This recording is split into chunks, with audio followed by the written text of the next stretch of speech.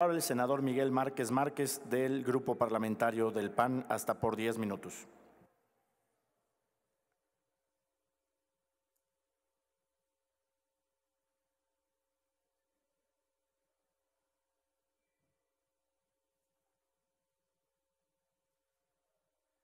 Muy buenas tardes, compañeras, compañeros senadores.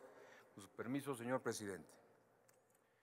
Acudo a esta tribuna con pleno respeto a la investidura que nos confiere nuestra labor parlamentaria y a fijar la postura del Grupo Parlamentario de Acción Nacional.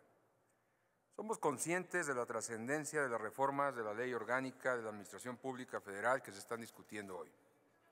Estamos en el proceso de construcción de las bases de un gobierno que tiene muchos retos por delante, en el que nosotros no vamos a ser un obstáculo para que cumpla con su función constitucional pero también hay que decirlo, que venimos a proponer y a señalar las cosas que están bien hechas y aquellas que no lo están haciendo bien.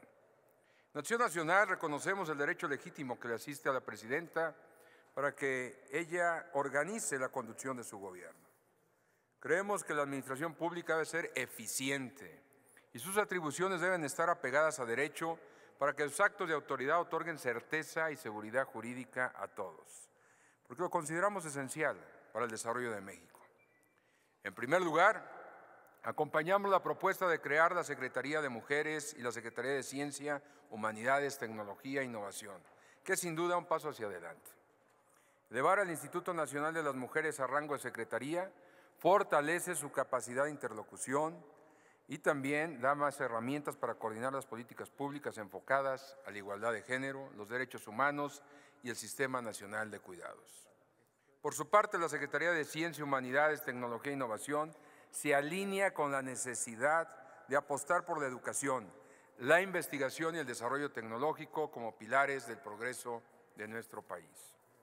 Estas áreas son fundamentales para enfrentar los retos globales y para construir un México competitivo, innovador y comprometido con la ciudadanía.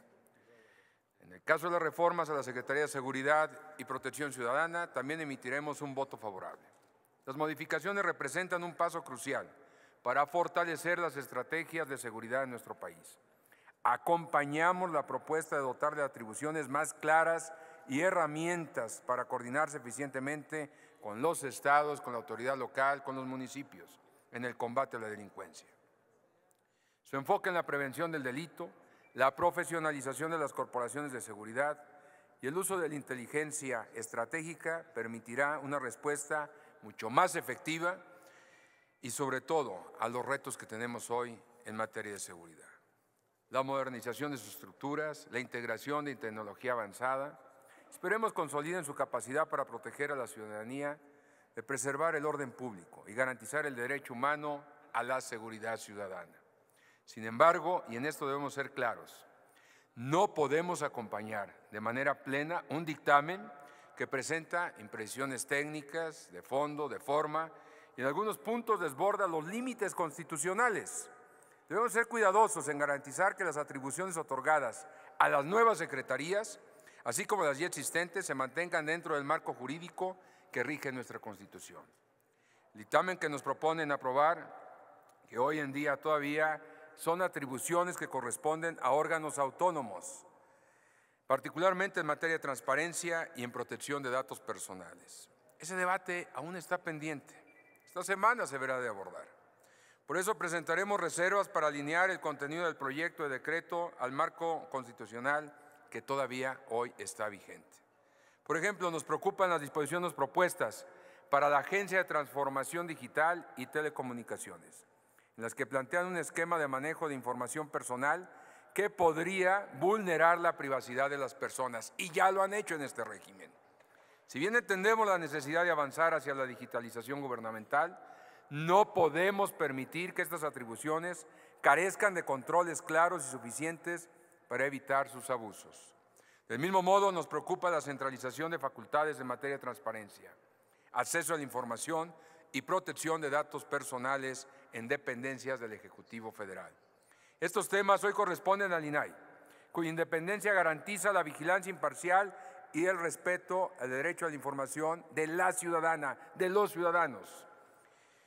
Eliminar o minimizar esta autonomía en una ley orgánica es un retroceso que contraviene a los principios democráticos de transparencia y rendición de cuentas. Es regresar al pasado al cual ya no queremos.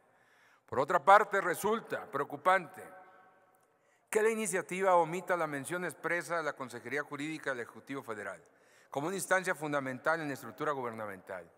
Viene a defender la misma y no se encuentra plasmada en esta reforma de iniciativa.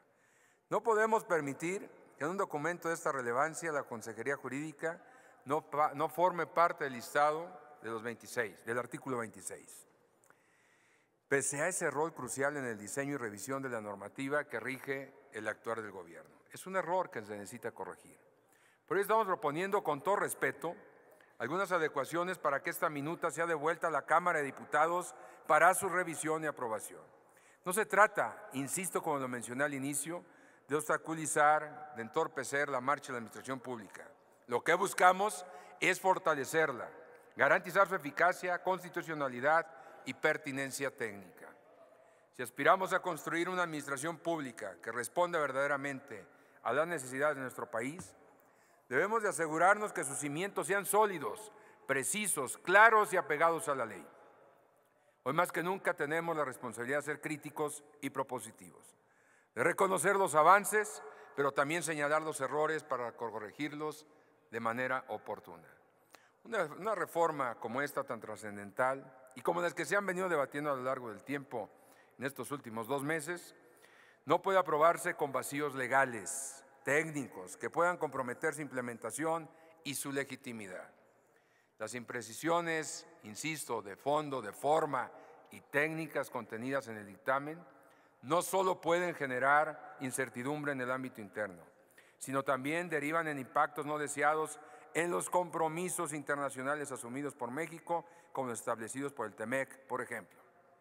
La idea de centralizar atribuciones en áreas como telecomunicaciones o protección de datos podría interpretarse como una violación a los principios de transparencia y libre competencia que el tratado exige, lo cual podría desencadenar en disputas comerciales. Y ahí ya está la amenaza del presidente Trump.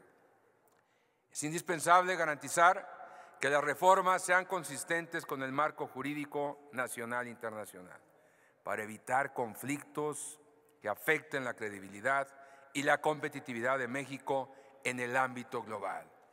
Este solamente es el inicio de una tarea difícil, compleja que habemos de tener con nuestros vecinos del norte y en materia global. Por ello, las y los convocamos a que sigamos construyendo juntos un México donde las decisiones que tomemos en este recinto sean reflejo del compromiso que tenemos con nuestra Constitución, con todas nuestras instituciones y sobre todo con nuestra gente, con la sociedad. Hoy México demanda de mayor participación ciudadana, de mayor compromiso social, pero sobre todo de un despertar mexicano. México no puede seguir así. Esto tendrá consecuencias serias en la parte política, social y económica en el mediano y largo plazo. Amigas y amigos, el Grupo Parlamentario de Acción Nacional hace un llamado a todas y todos los presentes a actuar con altura de miras, que esta discusión exige trabajar, corregir esta minuta, esta iniciativa en beneficio de todos y cada uno de los mexicanos. Muchísimas gracias. Es cuanto, señor presidente. Gracias, senador Márquez. Tiene el uso